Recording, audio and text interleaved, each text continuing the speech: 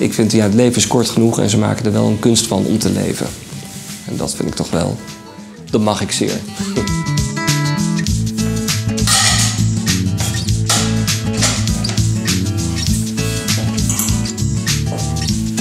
Ja, leven als God in Frankrijk. Er staat een eten aan overvloed, drank aan overvloed. Je mag pakken. eh, het is een enorme gastvrijheid. En dat is toch die Calvinistische inslag die je in het Westen hebt. Van nou, glaasje, weet je wel, dat is mooi zat.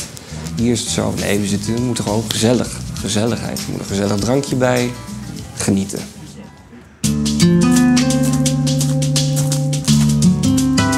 Ja, in steden als New York, Berlijn, eh, München, eh, Parijs natuurlijk, Londen. Waar we ons mee bezighouden is zeg maar het sturen en regelen van stromen. En stromen kan van alles zijn. Het kan een hydraulische olie zijn, het kan een eh, brandstof zijn. Dit is een terugslagklep, eh, dubbel uitgevoerd en wordt toegepast voor de injectie van brandstof in motoren. Eh, de luchtvaart kan het zijn voor Rolls-Royce, kan het voor Airbus zijn, voor Boeing.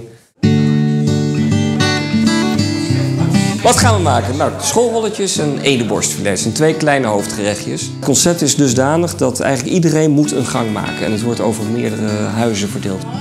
glaasje Prosecco. eh. Ja, voor mij is het onbegrijpelijk dat mensen niet eh, naar Limburg zouden willen verhuizen. We hebben zelfs die discussie, die discussie komt natuurlijk regelmatig. Ik begrijp niet dat je in Limburg kan wonen. Ja, ik vind het zo'n absurditeit gewoon. Je woont hier in de mooiste provincie van Nederland. Hier kan je gewoon eh, nog gewoon bedenken van, nou, dat ga ik morgen eens doen. En je kan het doen. En ja, je hebt gewoon vrijheid. Letterlijke vrijheid.